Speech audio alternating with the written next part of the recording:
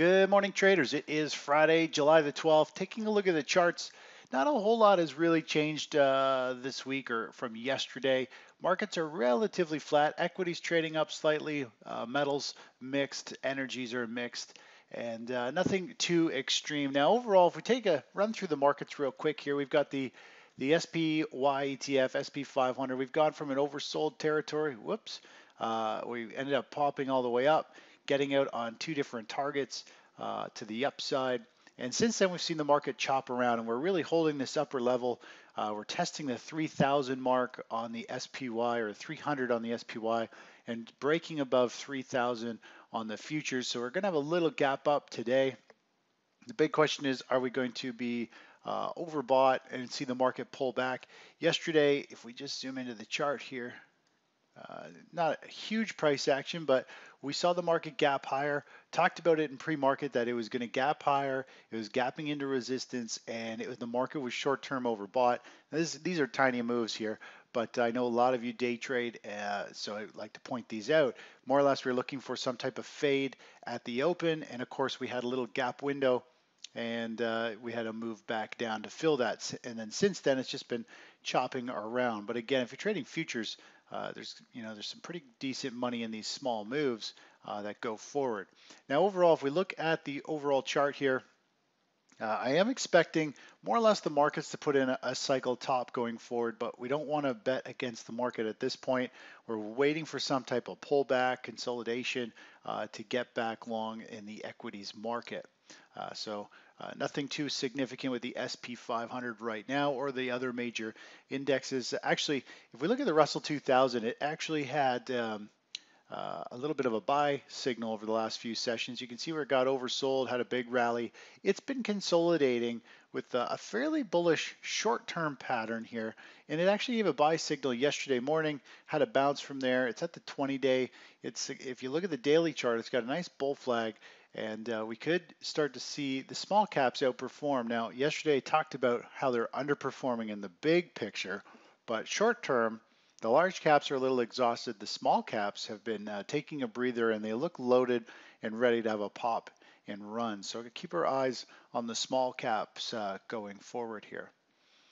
Now, if we take a look over at, let's take a look over at gold. Gold's been consolidating. We've had this big run up. It's been consolidating sideways here.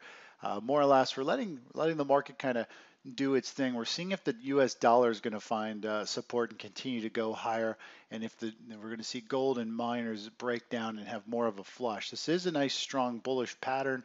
It is uh, holding tight in this range and kind of coiling. It's building power. Whichever way it breaks, we're going to see a fairly significant move. So I am more or less getting ready to jump in and get long if it does start to break and move to the upside. But overall, I still have a feeling it's going to want to wash out and cleanse the market. Everyone's buying and holding, expecting a breakout to the upside. And uh, I'm hoping the market's going to cleanse that and a rising dollar as well uh, going forward. We'll pull this back and, and, and kind of release some of the, the longs, get them out, and then we can get back in with an oversold uh, buy signal going forward. If we take a look at silver, silver's trading down today again, uh, still in an upward bias, but it is uh, flirting around here, just kind of hanging on to a thread. And uh, all these markets are just kind of consolidating. And the question is, do we have that washout low in the metals market, uh, or is it going to just continue to break out to the upside and continue to run higher? If we look over at miners, GDX, uh, that's the GDX. If we go to the GDXJ, they're both pretty much the same. Uh, again, yesterday giving back a good chunk of their gains as it gapped up into resistance yesterday on news. And news tends to give back 50 or 100% of the gains within a couple days. Most of the gains were given back uh, yesterday. So we're going to let the market just do its thing. It's going to work itself out here. We'll see uh, what type of pattern starts to unfold. We could be into this type of pattern here where we gap up show a little bit of weakness, but then it just keeps on going to the upside and we see it really break out and take off. So keep my eyes peeled for potentially jumping in and getting long into the metals sector. Looking over at energies, natural gas up 1.6%.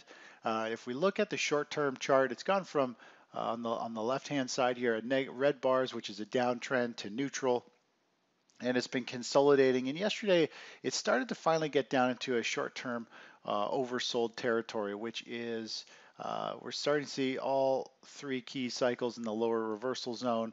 It uh, is testing down in, into the support area. And today we're starting to see it bounce up already. It's up at uh, 45. It has potential to go up to the potential uh, 40 or for the, the 55 area. You can see this upside target here, which is a level where the price broke down in a significant way uh, before. So that'll be the natural recoil back up, that kind of test of that resistance area. Looking over at crude, relatively flat on the session. It uh, still continues to be in an uptrend, and we're looking for it to push up into the 61, 62 area. But overall, uh, don't really want to get into that trade at this point. It's flirting here with just above resistance, at resistance. Looks a little toppy. Uh, there's a there's if I feel as though there's more potential for a sharp pullback than there is for a huge rally. I think getting in here is kind of uh, um, uh, more or less chasing the play, and it gets a little squeezed to get a move in there. Now, if we take a look over at, uh, let's pull up the dollar real quick just so we can see where the dollar is. The dollar's pulled back, and uh, more or less uh, today we're seeing it trade uh, slightly lower as well. It's more or less flat on the day, but uh, again, a pull bullish pullback. We could see the dollar continue to take off. Uh, to me, it feels like it has some pretty good upside potential, and I think we could see it continue to push up and pull metals and miners back going forward and commodities as a whole. Anyways, not a whole lot today. We'll see what kind of, if we get any volatility, any big volume moving around uh, today in the markets, but it, at this point doesn't seem like there's a whole lot going on. Anyways, that's it for now. Talk to you in a bit. Bye bye.